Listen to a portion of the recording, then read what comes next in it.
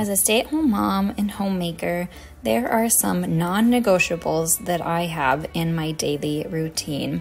So I'm going to share those with you today and how these consistencies truly are what make my days run. So first of all, as you saw, I take my supplements and drink some water right away in the morning.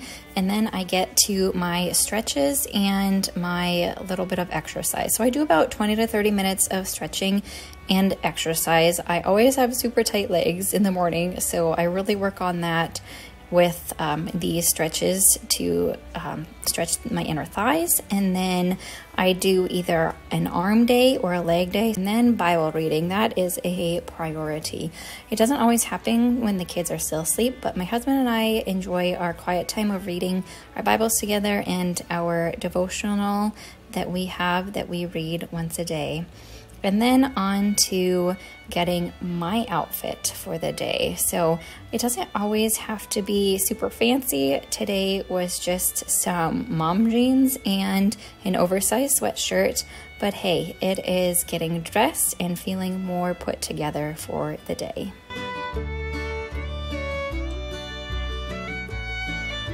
And then breakfast prep. And yes, my hubby loves giving me love taps, and you've seen that a few times in some videos.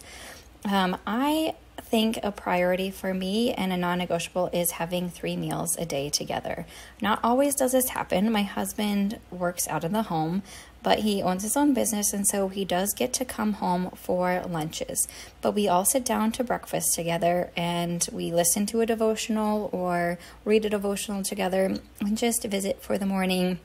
And I truly love this time, quality time of three meals together. And for you, it may not be three, it might be one, but I think having that mealtime together is just so important.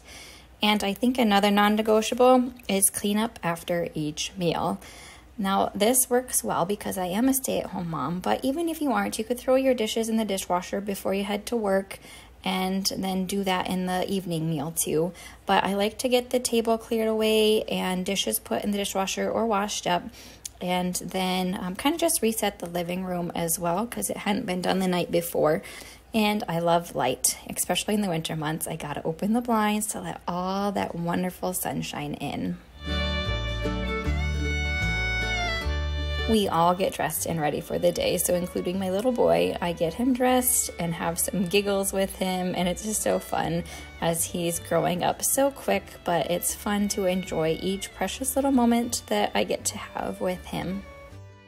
A simple skin and hair routine is a must for a mama of three littles. So I'm brushing my teeth, so are my little girls, then I'll get to doing their hair but I keep it very, very simple for my hair and makeup routine.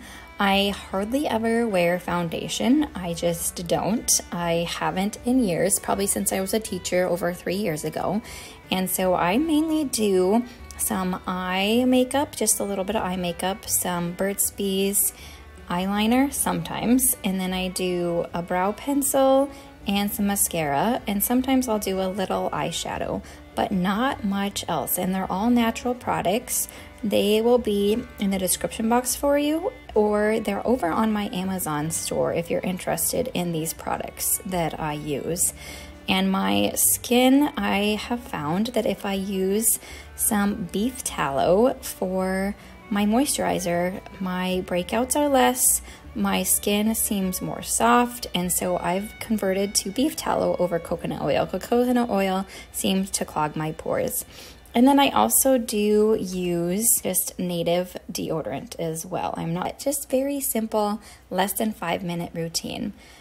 And then, of course, getting the rest of my kiddos dressed because when you have three littler ones, the oldest can get herself dressed, but the other two need a little assistance.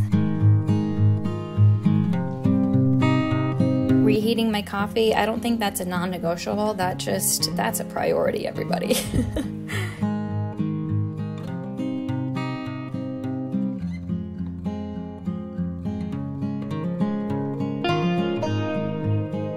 One or two loads of laundry a day is a must. If I don't want it to pile up on the weekends, I make sure to get a load of laundry going in the morning. That way I can either fold it in the afternoon or the evening and have my kiddos help me with that or just get it done myself.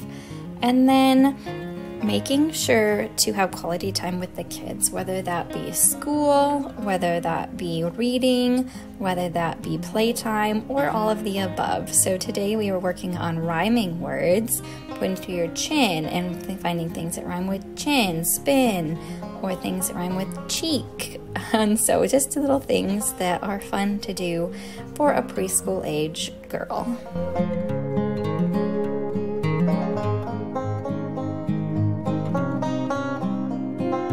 Sometimes I fold my laundry in the living room, sometimes in our bedroom. I prefer the bedroom just in case someone would happen to pop by.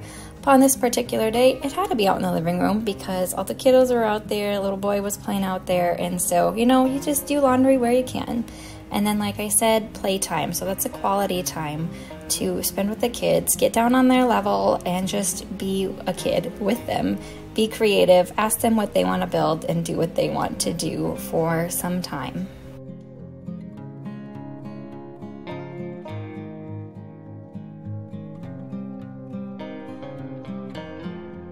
Here's a lunch meal prep. It was just some leftover chicken from a whole chicken, and we're having chicken tacos today.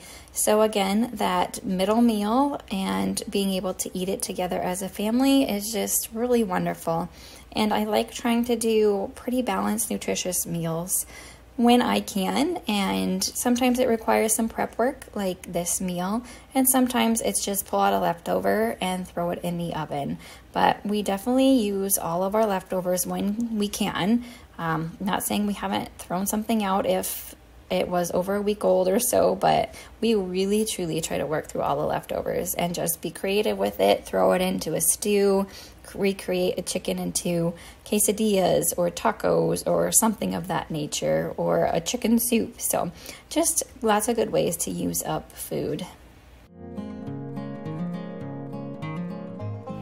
All right, the lunch meal cleanup. If I don't clean up, I feel like I am a little more overwhelmed by what's left in the kitchen. So I usually also Swiffer after each meal on our floor and just get it wiped up because with littles, there's always some crumbs on the floor. And again, just get the dishes cleaned up. That doesn't always happen, but most of the time I try to do that. And then it's another non negotiable my quiet time and nap time for my kids. People always ask me, how do you get them to nap at the same time? Well, friends, I set a schedule. I nurse my baby at a certain time so that every three hours he has that time of nap where he goes to have nap time and quiet time with the girls. And so, as a mama, being a stay at home mom, I think that is so important. That way, we get our rest time or time to be creative, like editing and blogging for me or doing a DIY. I also get my supper prepped often during nap time as well. So, if you can, and for me, it has been a lifesaver Get those kiddos to have nap and quiet time at the same time in the afternoon.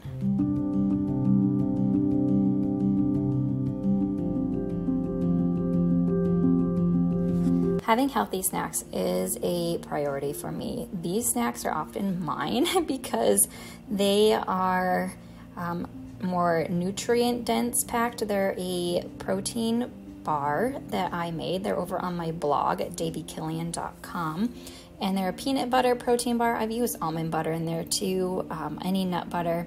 And this time I actually put in brewer's yeast to help with nursing as well. So they definitely are a bar that I go to, tend to go to, but my kids have them too. So it's just something that I prioritize because I do snack during the day and having healthy snacks is important for myself and for my kids. All right, another non negotiable getting outside. You guys have heard me say this many times. It's winter and cold, but we get outside no matter what, unless it's negative 40 wind chill. But it's so wonderful just to get that fresh air, to rejuvenate our bodies and get outside. Another non negotiable for me as a stay at home mom and wife is to create a cozy atmosphere for when my husband comes home from work. So, this might be more for me setting the candles, turning on the jazz music, but my husband knows when I have done those things that my heart is more at peace. I'm ready for him to come home, um, even if the kids are running and screaming around the house, which you don't hear that during this time. But it just really gets me more in the mood for knowing, all right, I want my heart and mind to be set for my husband when he comes home to serve him with a good quality meal um, and just to prioritize my health and sanity as well with creating that cozy atmosphere for the mealtime.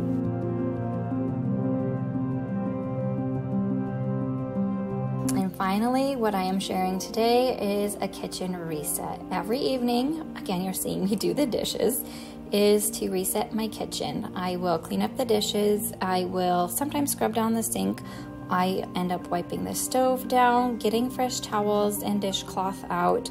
I usually wait for the dishes to dry and then put them away. And on this particular night, we had a friend come over, so I had extra tea out, so I did want it wiped down anyways. And I always just like to have it reset. I will also set the table for the next day with my napkins, some silverware, and the cups for the kids and just make sure that is all ready for the next day because then when that morning comes and it goes quick that I can be ready with what is on the table and one less thing to have to do.